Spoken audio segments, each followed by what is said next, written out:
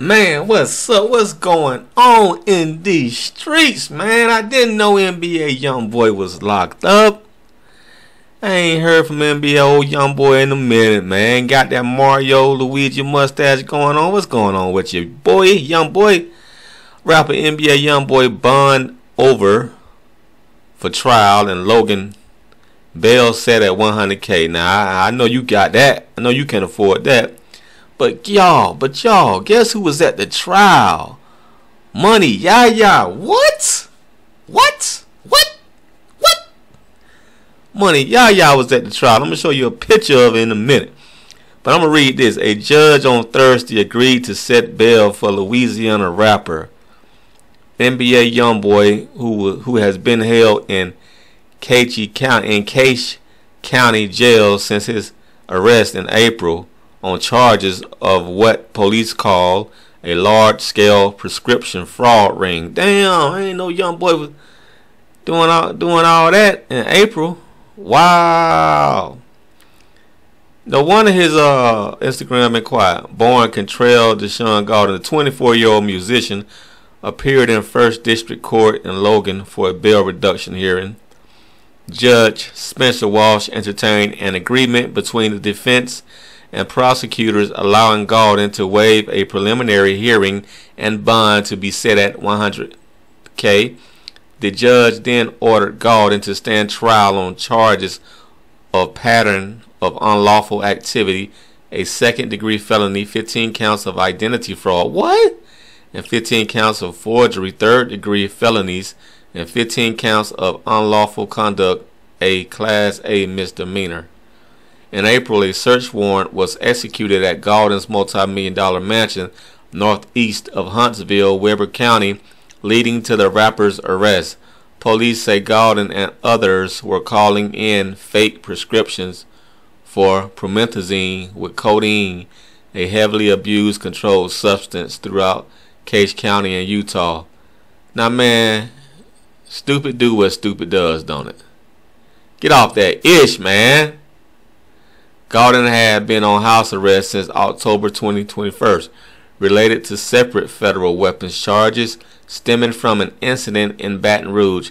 Gaulden and 15 others were arrested in 2020 in Louisiana after Baton Rouge police received a tip that a group was filming a music video with guns, according to court documents. An arraignment hearing is scheduled for July 1st in Logan when Gaulden will be asked to enter a plea. Gaulden was told he will be able to attend that hearing remotely should he post bail. On April 26, additional charges related to the prescription fraud case were filed against Gaulden in Weber County's 2nd District Court, including possession of a dangerous weapon by a restricted person, a second degree felony, and two counts of fraudulently obtaining a prescription, a Class A misdemeanor, the charges were filed after investigators reported finding a gun while searching his home as well as prescription medications allegedly obtained fraudulently. A non-bailable warrant was issued for his arrest in that case on April 30th. So man, these, these dudes just can't get right. Just can't stay out of trouble. Like that's that's the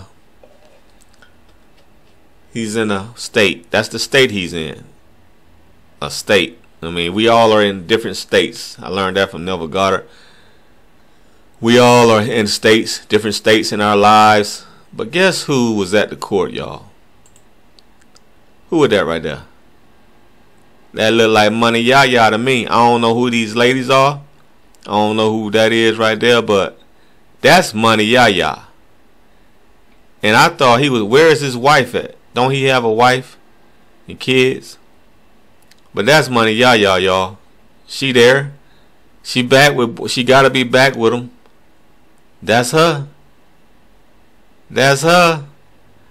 That's probably why Floyd kicked her out the house. Uh-huh. Floyd said, you, you want to be with young boy, you got to go. Well, you got to go. You got to get out of here. You can't live here no more. That's what I'm thinking. But anyway, yeah, back with young boy. I don't know what to say, man. The old boy better straighten out.